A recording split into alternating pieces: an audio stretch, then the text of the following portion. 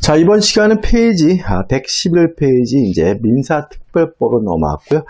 아, 민사 특별법은 법이 총 5개고 6문제가 나오죠. 그래서 주택 임대차보법에서 한 두 문제, 나머지 법은 각각 한 문제씩 나오는데 이게 의외로 도 양이 많습니다. 그래서 여러분들 잘 정리하셔야 되고요. 많이 다양하게 한다 그래서 맞추는 건 아니기 때문에 오늘 정리하는 거 확실히 내 것으로 만들면 되는 거죠.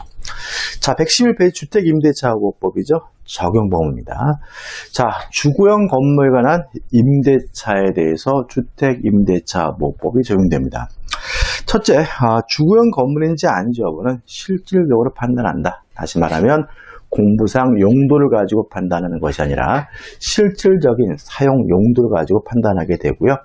두 번째, 임대차 계약시를 기준하는 거죠. 그래서 계약할 당시 주택이어야 주택임대차보법이 적용이 되고 세 번째, 아, 일부가 비주거용으로 사용되고 있더라도 주택임대차보법 적용된다는 거 기억해 두시기 바라고 그 다음에 임차인이 외국인인 경우에도 주택임대차법이 적용되지만 임차인이 법인인 경우에는 원칙적으로 주택임대차법이 적용되지 않습니다. 예외가 있지만 예외까지는 안 나와요. 그죠?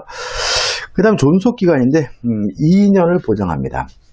2년을 보장하고 자 법정갱신인데 자 일단 아, 요건은 만료 전 6월부터 2월이에요.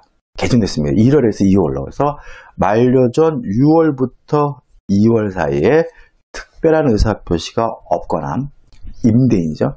임차인은 만료 전 2월까지 특별한 의사표시를 하지 않았다면 자동으로 갱신되는데 이 주택 임대차가 자동으로 갱신되면 존속 기간은 또다시 2년입니다.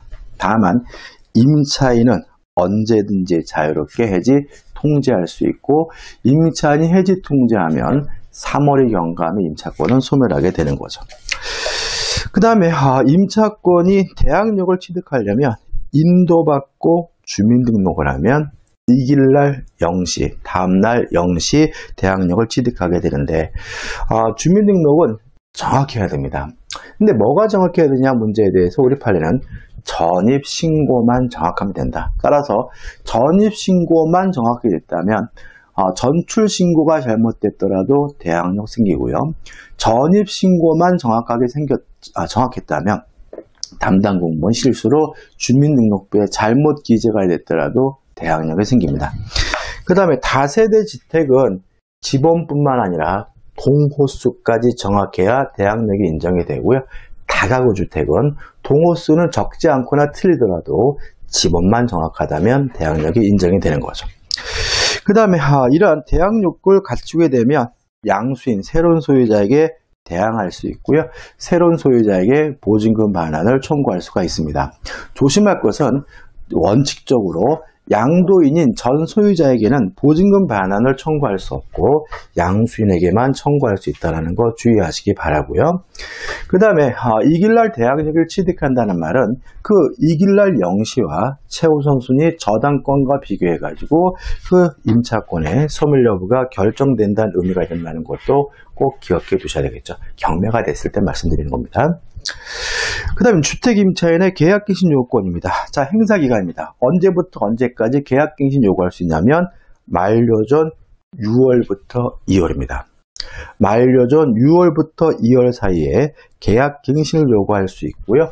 임차, 임대인은 원칙적으로 거부할 수가 없는데 효과에서 이러한 계약갱신 요건은 한 번 1회에 하나여 행사할 수 있고 계약갱신 요건의 행사로 갱신이 되면 그 존속기간은 2년입니다. 그럼 결과적으로 실질적으로 총 몇 년이 보장되는 꼴이죠? 4년이 보장이 되는 꼴이죠. 다만 이러한 계약갱신 요건 행사로 인해서 계약이 갱신된 경우에도 임차인은 언제든지 자유롭게 해지 통지할 수 있고요. 3월이 경과하게 되면 임대차가 종료된 것으로 보게 되고요. 4번에서 동일한 조건 다시 계약한 곳으로 보지만 차임 보증금은 증감 청구가 가능하다는 거 기억해 두시면 되겠죠. 자, 그 다음에 넘기시면 원칙. 자, 이러한 임차인의 계약갱신 요구에 대해서 임대인은 원칙적으로 거부할 수가 없습니다.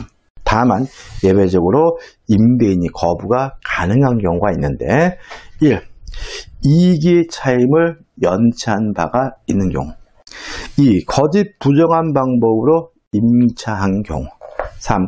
합의하여 상당한 보상을 제공한 경우 4. 동의 없이 임차인이 전대한 경우 5. 고의나 중대한 과실로 파손한 경우 6. 전부 또는 일부가 멸실해서 임대차 목적을 달성할 수 없는 경우 그 다음에 7에서 어, 재건축 등을 이유로 철거해야 되는 경우인데 조심할 것은 이러한 계약 체결 당시에 철거 또는 재건축 계약을 임차인에게 고지한 경우에만 임대인이 계약 갱신을 거부할 수 있다는 거거든요. 근데 여기까지는 실제로 상가 건물 임대차 보호법과 대단히 똑같습니다. 다른 점은 뭐냐면 1번이죠. 상가 건물 임대차는 2기가 아니라 3기인데 주택 임대차는 2기라는 게 다른 거죠. 그럼 비싸니까 이게 안 나온단 말이에요. 나오더라도 답이 될 수는 없고 중요한 것은 뭐냐면 8이죠. 8. 임대인. 직계 존속, 직계 비속을 포함한다. 임대인이 목적 주택 실제 거주하는 경우죠. 다시 말하면 상가 건물 임대차 이런 거 없습니다. 그죠? 자, 임차인이 계약갱신 요구에 대해서 임대인은 자기가 직접 거주하거나 아니면 부모나 자식이 직접 거주하려고 할 때에는 임차인의 계약갱신 요구에 대해서 뭐 할 수 있는 거죠? 거부할 수가 있는 거죠. 자, 근데 문제되는 것은 뭐냐 하면 거부를 해서 임차인이 다른 곳으로 이사 갔는데 나중에 보니까 2년 되기 전에 임대인이나 임대인의 부모 자식이 아닌 다른 사람이 거주하고 있다는 사실을 알게 되면 그때는 임차인은 임대인에게 뭘 청구해야 되냐면 손해배상을 청구할 수가 있고요. 물론 손해배상액은 합의에 의해서 결정되지만 합의에 의해서 결정되지 않는다면 밑에 세 가지 중에 큰 금액이 됩니다. 첫째, 환산 월차임의 3개월치. 그 다음에 두 번째, 제3자에게 임대 얻은 환산 월차임과 갱신 거절 당시 환산 월차임 간의 차액의 2년분. 마지막으로 갱신 거절로 인하여 임차인이 입은 손해, 셋 중에 큰 것이 손해배상이 금이 된다는 거 꼭 기억해 두시기 바랍니다. 그 다음 113페이지죠. 자, 우선 변제권이죠. 자, 인도받고 주민등록을 해서 대학 요건을 갖춘 주택 임차인은 확정 일자를 갖추게 되면 우선 변제권이 주어집니다. 따라서 이 주택 임차인은 확정 일자를 기준으로 해서 배당 순위가 결정이 된다는 거 꼭 기억해 두시기 바라고. 그 다음에 아, 증액 청구는 20분의 1을 초과하지 못하고요. 또 한 번 올렸으면 1년 이내에 또 하지 못하고요 그 다음에 세 번째가 중요한데 자 전세권자는 전세금을 못 받았다는 이유로 경매를 신청하려면 전세권 설정자의 동시에 항변권을 소멸시키기 위한 이행 또는 이행의 제공을 먼저 해야 되잖아요. 근데 주택 임차인은 임의 경매를 신청할 수는 없고 강제 경매를 신청하게 되는데 강제 경매를 신청하기 위해서 이행 또는 이행을 제공하지 않아도 된다는 것이 우리 법의 태도인 거죠. 그러면 언제 목적물을 반환해 주면 되느냐에 우리 판례는 실제로 보증금을 수령할 때는 목적물을 반환해 줘야 된다는 것이 우리 판례 입장인 거죠. 그 다음 임차권 등기 명령제도입니다. 일단 뭐죠? 임대차 계약이 끝났는데도 불구하고 보증금을 반환받지 못하고 있는 주택 임차인은 법원에 임차권 등기 명령을 신청할 수 있고요. 임차권 등기 명령제에 따라서 임차권 등기가 이루어진다면 대항 요건을 상실하더라도 이미 취득한 대항 요과 우선 면제권은 계속 유지가 되고요. 다만 조심할 것은 이런 임차권 등기 명령조에 따른 임차권 등기가 있는 주택의 새로운 임차에는 소액 임차 보증금에 해당한다 하더라도 어, 최고점 면제권이 인정되지 않는다는 거 주의하셔야 되겠죠. 그 다음에 임차인의 사망입니다. 자, 임차인 사망하면 임차권도 재산권이니까 상속이 되겠죠. 다만 사실혼 관계에 있는 배우자는 상속권이 없습니다. 그래서 이 사실혼 관계에 있는 배우자를 보호하기 위해서 일단 상속권자가 없다면 사실혼 관계에 있는 배우자가 임차권을 승계받고요. 만약에 상속권자가 존재한다면 2촌 이내 친족과 공동으로 승계받게 됩니다. 다만 맨 밑에죠.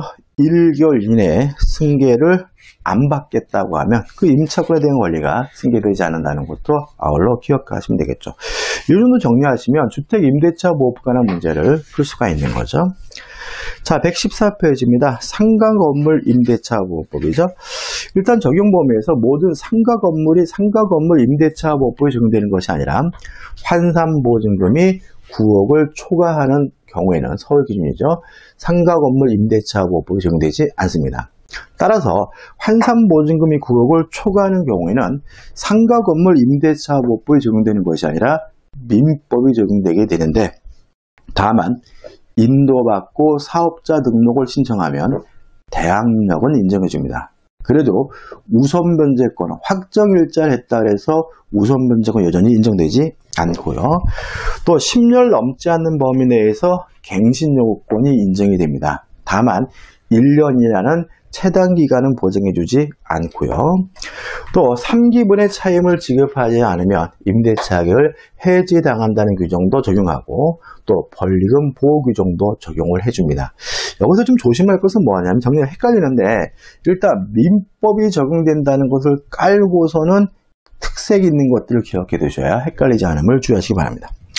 자, 만약에 9억을 초과하지 않으면 그때는 상가 건물 임대차 보호법이 적용되는데 존속 기간은 1년이 보장이 되고 갱신 요구권이 인정이 되는데 어, 10년을 초과하지 않는 범위 내에서 갱신을 요구할 수가 있고요. 언제부터 언제까지 할 수 있냐면 만료 전 6월부터 1월 사이에 갱신을 요구할 수 있습니다. 이러한 상가 건물 임차인의 갱신 요구에 대해서 임대인은 원칙적으로 거부할 수가 없습니다. 다만 거부할 수 있는 경우가 있는데 네 가지를 꼭 기억해 두셔야 돼요. 3기분의 차임을 연체한 경우죠. 주택은 몇 개? 2기인데 상가는 뭐죠? 3기입니다. 또 서로 합의하여 상당한 보상을 제공한 경우죠. 또 전부 또는 일부를 고의나 중대한 과실로 파손한 경우인데 고의나 과실이 아니라 중대한 과실로 파손한 경우임을 주의하시기 바라고 또 전부 또는 대부분을 철거하거나 재건축하는데 그때는 그 계획을 그 사실을 임대차 계약 체결 당시 고지한 경우에는 임대인은 거부하는 것이 가능한 거죠. 그 다음에 법정갱신입니다. 아, 요건은 만료 전 6월부터 1월이에요. 그러니까 전세권도 만료전 6월부터 1월, 상가 건물 임대차도 만료전 6월부터 1월인데 주택 임대차보법은 6월부터 2월이고 민법상 임대차는 만료 후 상당한 기간인 거죠.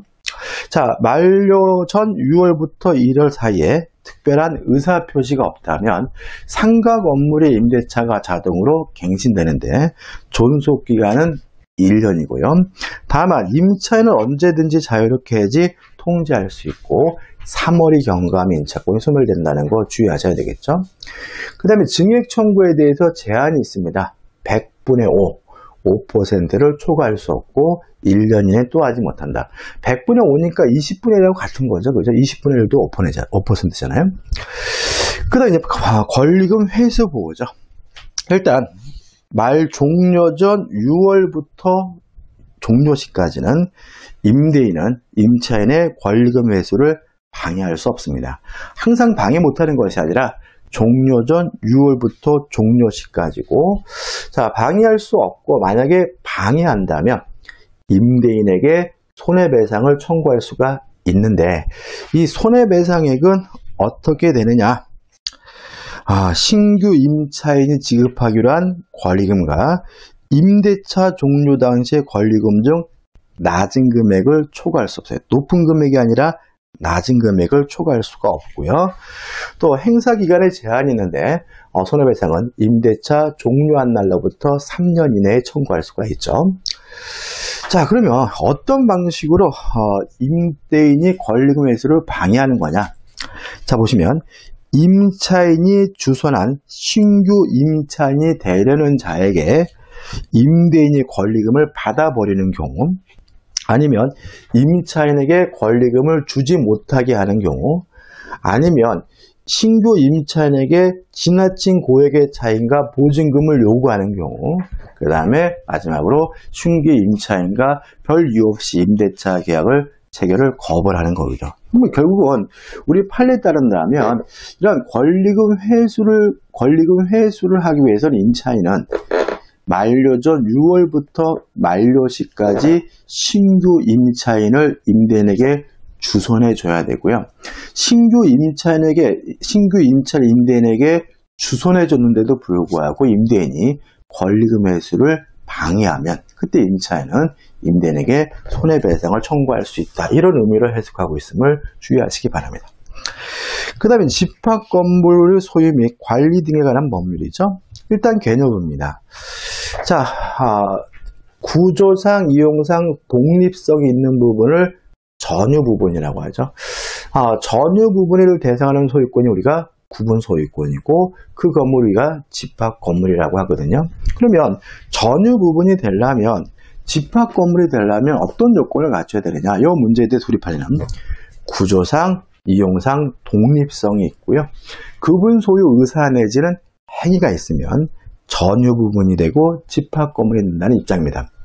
따라서 건축물 대장에 등록되지 않았더라도 등기부에 집합 건물로 등기되지 않았더라도 구조상 이용상 독립성이 있고 구분 소유 의사가 대외적으로 표시가 되면 그 순간 집합 건물이 성립된다는 것이 우리 판례 입장이고요. 이러한 전유 부분을 제외한 나머지 부분을 우리가 공용 부분이라고 하는데 공용 부분과 전유 부분은 절대적 일체성을 띱니다. 절대적이라는 말은 항상이라는 거죠. 예외가 없다는 거죠. 따라서 전유 부분이 이전되면 공용 부분을 자동으로 쫓아오는 것이니까 공용 부분에 대해서는 따로 등기할 필요가 없고요. 공용 부분과 전유 부분은 분리해서 처분할 수가 없고요. 특히 절대적 일체성이니까 구분 소유자 전원의 동의가 있더라도 공용 부분만 따로 처분할 수 없음을 주의하시기 바랍니다. 그 다음에 공용 부분에 대한 내용인데 공유 부분에 대한 지분은 전유 부분의 면적의 비율에 따라서 그 지분이 결정이 되고요. 공용 부분은 어떻게 사용하냐면 그 용도에 따라 사용합니다. 필요에 따라 사용하는 것이 아니라 용도에 따라 사용하게 되고요. 그 다음에 공유 3번에서 공유자가 공용 부분에 관하여 다른 공유자에 대해 가지는 채권 해가지고 연체관리비거든요. 자, 연체관리비는 공용 부분에 대한 연체관리비는 새로운 소유자에게 승계됩니다. 다만 전유 부분에 대한 연체 관리비는 승계되지 않고요. 연체료는 승계되지 않는다는 것도 함께 기억해 두시기 바랍니다. 그 다음에 공용 부분 변경에 대해 차례도 개정된 사항인데 자 공용 부분을 변경하려면 원칙적으로 3분의 2 이상의 찬성이 필요하고요. 계량행위이고 과다한 비용이 요하지 않는 경우에는 통상의 지표글이 과반수의 결의로 공용부를 변경할 수가 있습니다. 다만 이러한 공용 부분의 변경으로 인해서 구분 소유권 및 대지 사용권의 범위나 내용에 변동을 일으키게 된 경우는 5분의 4 이상의 찬성이 필요한 거죠. 그러면 공용물의 변경 원칙 3분의 2 그죠? 다음에 계량행위고 과다한 비용이 들지 않으면 통상의 집행결의 또 어, 공, 구분 소유권 및 대지 사용권의 범위가 변경되는 경우에는 그때는 5분의 4 이상의 찬성에서 정확하게 기억해 두셔야 되죠. 그 다음에 대지 사용권이죠. 구분 소유자가 가지고 있는 토지 사용권 우리가 대지 사용권이라고 하는데 구분 소유권과 대지 사용권은 일체성을 가집니다. 따라서 전유 부분이 처분되면 대지 사용권이 이전되고요. 대지 사용권만 따로 분리해서 처분할 수 없는 것이 원칙입니다. 다만 규약으로 특별히 대지 사용권을 분리해서 처분할 수 없다라고 규정을 두고 있다면 규정을 두고 있다면 아, 그것을 가지고 선의 제3자에게 대항하기 위해서 뭐가 필요하죠? 등기가 필요하다는 거 주의하시기 바라고 그 다음에 원칙적으로 분리 처분할 수 없지만 규약으로 달리 정할 수 있다는 것도 기억해 두셔야 되겠죠. 그 다음에 집합 건물의 담보 체계입니다. 일단 민법상 담보 책임은 임의 규정이기 때문에 특약으로 면제하거나 달리 정할 수 있지만 그것이 집합 건물로 오게 되면 수분양자, 즉 매수인에게 불리한 특약은 무효가 된다는 거 주의하시기 바라고 이 담보 책임은 말 그대로 분양자가 부담하게 됩니다. 다만 분양자가 망하면 2차적으로 시공자도 그 담보 책임을 부담하게 되고요. 그 다음에 이 담보 책임의 기산점이 시험에 날 나오는데 시작점이죠. 전유 부분은 인도한 날로부터 시작하게 되고 공용 부분은 사용 검사일 또는 사용 승인일부터 시작하게 되는데 기간은 언제냐? 10년짜리도 있고 5년짜리도 있는데 뭐 중요한 건 아니에요. 시험에 안 나니까 우리는 그냥 원칙적으로 10년 이렇게 기억하면 돼요. 자, 정리해보면 자, 집합 건물의 담보 책임의 존속 기간은 원칙적으로 10년인데 그 기산점, 시작일은 전유 부분은 인도한 날로부터 시작하게 되고 공용 부분은 사용 검사일 또는 사용 승인일부터 시작하게 됨을 주의하시기 바랍니다. 자 넘겨보시면 이제 뭐가 나오죠? 아, 관리단이 나오죠. 일단 구분 소유자를 구성원으로 해서 당연히 설립되는 모임입니다. 집단입니다. 따라서 어떤 설립 행위가 필요한 것도 아니고요. 부분 소유자가 두명 이상이면 집합 건물이 성립하게 되면 관리단은 당연히 존재하게 된다는 거 주의하시기 바라고 이러한 관리단의 대표를 우리가 관리인이라고 하는데 관리인은 구분 소유자가 10명 이상인 경우에 선임 의무가 발생하고요. 그 다음에 중요한 것이죠. 관리는 구분 소유자일 필요가 없습니다. 다시 말하면 구분 소유자가 아닌 세입자도 관리인이 될 수 있음을 주의하시기 바랍니다. 그다음 관리위원회인데 이 관리위원회는 뭐 하는 거냐면 관리인의 사무집행을 감독하는 사람들의 모임인데 관리위원회는 임의기관입니다. 두여 하는 것이 아니라 둘 수 있고요. 또 관리위원회 위원은 구분 소유자 그래서 관리인은 구분 소유자일 필요는 없지만 그 관리인의 사무 집행을 감독하는 관리위원회 위원은 구분 소유자의 됨을 주의하시기 바랍니다. 규약이죠. 규약을 설정할 때도 변경할 때도 폐지할 때도 4분의 3 이상의 찬성이 필요하고요. 자, 그 다음에 관리단 집회인데 관리단 집회를 소집하려면 집회를 일주일 전까지 목적상을 명시해서 통지해 줘야 되고요. 요 통지한 사항에 대해서만 의결할 수가 있습니다. 만약에 통지하지 않은 사항에 대해서 의결, 결의하게 되면 그것은 무효가 됨을 주의하시기 바라고 이러한 소집 절차를 생략하려면 구분 소유자 전원의 동의가 필요함을 주의하시기 바랍니다. 그 다음에 수선 적립금이 또 어, 최근에 작년이죠 개정이 돼가지고 어, 새롭게 들어왔는데 일단 관리단입니다 주체가 관리단은 수선 계획을 수립할 수 있습니다. 따라서 수선 계약을 수립하는 주체는 관리단이고요. 또 관리단은 수속 적립금을 징수 적립할 수 있습니다. 수선 적립금을 징수하고 적립하는 주체도 뭐가 됩니까? 관리단이 되고요. 이러한 징수된 수선 적립금은 관리단에 기속된다는 거죠. 그러니까 뭐 예를 들어가지고 수선 적립금은 구분 소유자로부터 징수하며 구분 소유자에게 공유로 어, 뭐 기속된다. 그러면 X인 거죠. 그 다음에 또 누구한테 징수하냐면 구분 소유자로부터 징수합니다. 따라서 만약에 수선 적립금은 입주자로부터 징수한다 그러면 X인 거죠. 왜냐하면 입주자 속에는 뭐가요? 세입자도 포함이 되죠. 다시 말하면 입주자가 아니라 구분 소유자로부터 징수해서 관리단에 기속되게 됨을 주의하시기 바랍니다. 그 다음에 이제 구분 소유자가 전유 부분이 50개 이상이에요. 그런 경우에는 관리인이 선임된 사실을 소관청에 신고해야 됩니다. 그럼 이렇게 된 거죠. 자, 관리인은 구분 소유자가 10명 이상일 때 반드시 선임해야 되고요. 또 전유 부분이 50개 이상이면 선임했던 그 사실을 누구한테요? 소관청에 신고해야 된다는 것도 같이 기억해 두시기 바랍니다. 그 다음에 임시관리입니다. 만약에 구분 소유자가 없다면, 아, 죄송합니다. 관리인이 없다면 구분 소유자 등 이해관계에는 법원에 임시관리인을 선임해달라고 청구할 수가 있고요. 법원이 선임한 임시관리는 뭐 할 수 있습니까? 관리인을 선임할 수 있겠죠. 그래서 6개월 이내에 관리인을 선임하기 위해서 관리단 집회 또는 관리위원회를 소집하게 되고요. 다시 말하면 임시관리인은 언제 선임합니까? 관리인이 없을 때. 누가 선임합니까? 법원이 선임하고요. 누가 청구해야 됩니까? 구분 소유자 및 이해관계인이 청구해야 된다는 거 꼭 기억해 두시기 바랍니다. 그 다음 회계감사도 새로 신설됐는데 만약에 전유 부분이 150개 이상이면 감사인의 회계감사를 매년 1년에 한 번 이상 받아야 되고요. 다만 아, 관리단 집회에서 3분의 2 이상의 찬성으로 회계감사를 받지 아니하기로 했다면 아, 받을 필요가 없다라는 것도 기억해 두시기 바랍니다.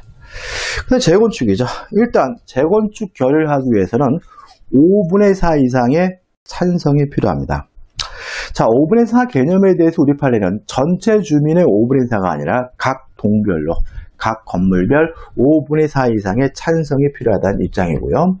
반대자는 어떻게 하냐면 반대자에 대해서는 참가 여부를 서면으로 체고하게 되고 반대자가 2개월 이내에 참여 여부를 회답하지 않으면 참여를 거부한 것으로 확정이 되고요. 이런 절차를 통해서 참여를 거부하는 사람이 확정이 되면 어, 시가로 매도할 것을 청구할 수가 있는 거죠. 그래서 시가를 매수해서 재건축을 시작하면 되는 거죠. 그다음 복구입니다. 자, 일부가 멸실됐던 얘기죠. 근데 멸실된 부분의 가액이 2분의 1 이하라면 복구하기 위해서 통상 집회기로를 하면 되는데 2분의 1을 초과하는 경우에는 5분의 4 이상의 찬성이 있어야 복구 결의할 수 있음을 주의하시기 바랍니다. 끝이죠? 여기까지가 이제 집합건물법이죠. 자, 이제 가등기 담보대란 법률입니다. 문제가 한 문제 나오는데 일단 개념 및 성질 중요한데 일단 양도 담보는 뭐죠? 소유권을 이전하는 방식이 이루어지는 담보죠.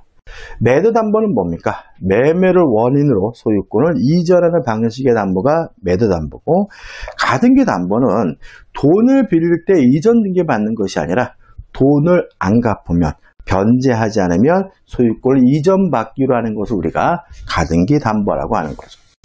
물론 이 가등기 담보, 양도 담보, 매도 담보는 그림에 나와 있는 것처럼 기본으로 저당권입니다. 저당권하고 글자 하나 안 틀리고 똑같아요. 다만 뭐가 다르냐? 권리, 취득에 의한 실행을 할 수도 있는 특수한 저당권이 가등기 담보, 양도 담보, 매도 담보라고 이해하시면 되고요. 이러한 가등기 담보법이 적용되기 위해서는 적용법이죠. 1. 소비대차 계약에 의한 채권이어야 된다. 빌린 돈이 된다는 것. 따라서 매매대금 채권, 뭐 임금 채권 이런 것을 담보하기 위한 경우라면 가담법 적용되지 않고요. 또 부동산에 관한 가등기 담보, 매도, 양도 담보여야 합니다. 따라서 동산에 관한 양도 담보의 경우는 가등기 담보법이 적용되지 않고요. 또 목적물의 가액이 채권액을 초과하고 있어야 됩니다. 만약에 목적물의 가액이 오히려 채권액보다 작다면 가담법이 적용되지 않음을 주의하시기 바랍니다. 그 다음에 변제의 말소 청구. 언제까지 돈을 갚아야 말소를 하고 언제까지 돈을 갚아야 뺏기지 않느냐.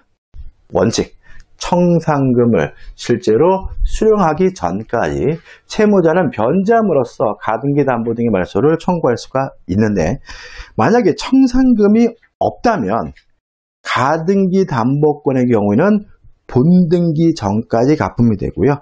양도 담보, 매도 담보의 경우는 청산 기간이 만료되기 전까지 갚아야 됩니다. 그 다음에 변제 초 말소 청구를 못하는 경우가 있어요. 아예 변제기로부터 10년이 경과됐거나 선의 재산자 이미 권리를 취득한 상태라면 변제 후 말소를 청구할 수가 없는 거죠.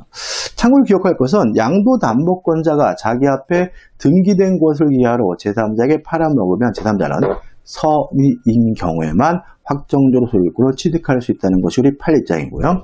이렇게 제3자가 선이라는 이유로 확정적으로 권리를 취득했다면 이제는 변제하고 말소해달라고 뭐하지 못해요? 청구하지 못한다. 이런 의미가 되겠죠. 자 이제 권리 취득에 대한 실행입니다. 일단 가등기 담보는 기본으로 저당권이니까 경매를 함으로써 그 담보를 실행하는 것도 가능하고요. 또 권리 대한 실행을 하는 것도 가능한데 그러고 가시면 변제기까지 기다렸는데 변제를 하지 않으면 실행 통지라고 두 달 기다렸다가 청산금을 지급하고 본등기하면 됩니다. 특히 실행 통지 후 두 달 기다리는 기간을 우리가 청산 기간이라고 하고요. 실행 통지할 때는 청산금이 얼마인지를 통지하게 되는데 청산금은 어떻게 결정되냐면 목적물의 가액에서 자신의 채권액과 선순위 권리자가 받을 채권액을 합산해서 공제하게 되면 청산금이 됩니다. 왜 선순위 권리자 채권액도 합산해서 공제하게 되냐면 가등기 담보가 실행이 되면 가등기 담보보다 선순위 권리는 소멸되지 않기 때문에 그렇고요. 또 목적물의 가액을 어떻게 평가할 것이냐에 대해서 우리 판례는 주관적 임의적으로 평가하는 것도 가능하고도 유효하다는 것이 우리 판례 입장인 거죠. 그 다음에 이러한 실행 통지는 누구한테 하냐면 채무자에게 합니다. 물론 제3취득자나 물상보증이 있다면 제3취득자 물상보증인에게도 통지하게 되고요. 중요한 것은 이런 채무자 등에게 통지했던 사실을 누구한테요? 후순위 저당권자에게도 통지를 해줘야 됩니다. 왜냐하면 후순위 권리자, 후순위 저당권자는 가등기 담보가 실행이 되면 무조건 뭐가 돼야 돼요? 소멸이 돼야 되는 권리니까. 이러한 통지를 받은 후순위 저당권자는 청산금의 수액, 액수 가지고 다툴 수는 없고요. 2개월이라는 청산 기간 내라면 자신의 채권에게 아직 변제기가 도래하지 않았더라도 경매를 청구할 수 있다는 것도 아울러 기억해 두시면 되겠죠. 그렇게 하면 이제 가등기 담보법이 끝나는 거죠. 그 다음 이제 마지막으로 부동산 실권리자 명의에 관한 법률이죠. 이제 한 문제가 나오게 되는데 일단 부동산 실권리자 명의 등기에 관한 법률은 명의신탁을 금지시킵니다. 따라서 명의신탁 약정을 하게 되면 무효고 그 명의신탁 약정에 의한 물권 변동 등기도 무효인 것이 원칙이에요. 다만 계약 명의신탁이고 매도인이 선이면 그 등기가 유효할 수 있다는 거 주의하셔야 되고요. 그 다음에 부부나 종종, 종교단체 재산의 경우에는 세금 포탈 등의 불법한 목적이 없다면 명의신탁이 가능하고도 유효하고 허용된다는 거 주의하셔야 되겠죠. 자, 명의신탁의 종류가 총 몇 가지죠? 다섯 가지로 나눠봤어요. 자, 양자간 명의신탁입니다. 그림 보시면 갑이 을과 만나서 명의신탁 약정을 하고 갑이 을에게 이전 등기를 하면 약정도 무효고 등기도 무효다. 또 갑이 을에게 이전 등기해 준 것은 불법 원인 급여가 아니기 때문에 갑은 자기 앞에 등기된 아, 갑은 자신의 소유권 이유로 의뢰 등기에 대해서 무인이 말소해달라고 청구하는 것이 가능한 거죠. 근데 우리 자기 앞에 등기된 곳을 기하러 병에게 팔아먹고 병에게 이전 등기를 해주면 이 제3자 병은 선악 불문하고 소유권을 갖습니다. 다만 병이 아는 것을 넘어서 적극 가담하게 되면 을과 병 간의 매매가 반사회적 법률에서 무효가 되기 때문에 병은 소유권을 취득할 수 없음을 주의하셔야 되겠죠. 그 다음에 중간 생략형 명의신탁 또는 3자간 명의신탁이라고 하는데요. 이런 얘기죠. 갑이 매도인인 병과 만나서 매매 계약을 하면서 하고 또 갑이 을과 만나서 명의신탁 약정을 하고요.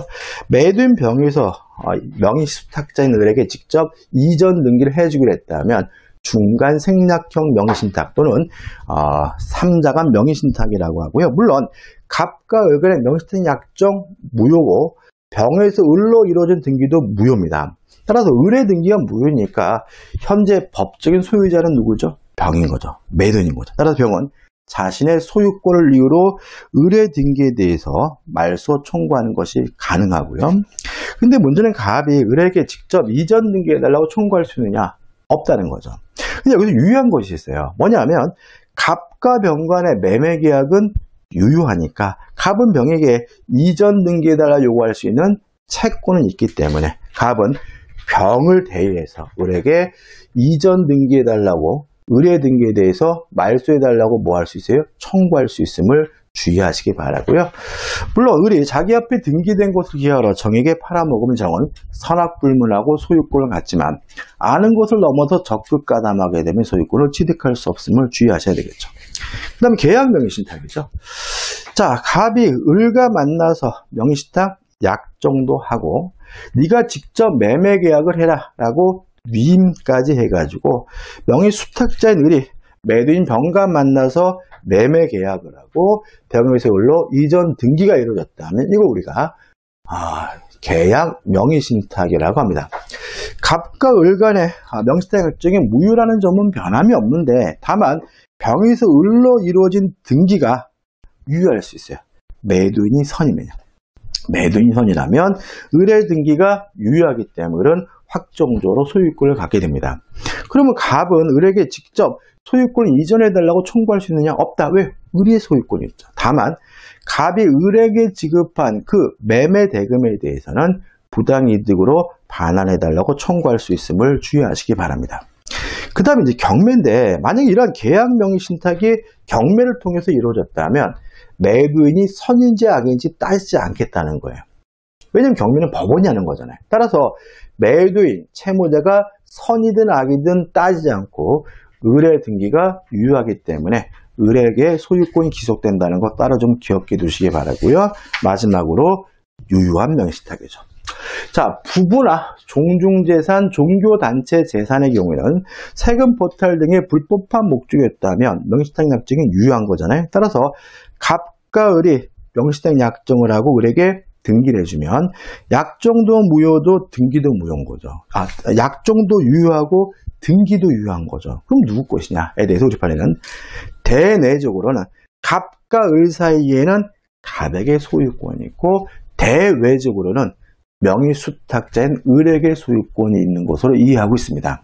따라 을이 자기 앞에 등기된 것을 기하로 병한테 팔아먹은 병은 선악 불문하고 소유권을 갖는데 병이 아는 것을 넘어서 적극 가담하게 되면 물론 을과 병 간의 매매 계약은 반사회적 법률에서 무효이기 때문에 소유권을 취득할 수 없다라고 판시하고 있네요. 자 이렇게 해가지고 이제 초초 핵심 요약 강의죠. 진짜 이거는 여러분들이 반드시 알아야 될 진짜로 초초 줄이고 줄여가지고 어, 정리한 거고요. 어, 실제로 여기 나와 있는 정확하게 기억하고 이해한다면 충분히 80점 이상은 맞을 수가 있습니다. 그래서 반복해서 확실하게 될 것으로 만드시기 바라고 다음 시간에는 이제는 여러분이 헷갈리기 때문에 어, 줄줄줄 구구단 외우듯이 왜 암기해야 될 사항을 따로 좀 정리해 드리도록 하겠습니다.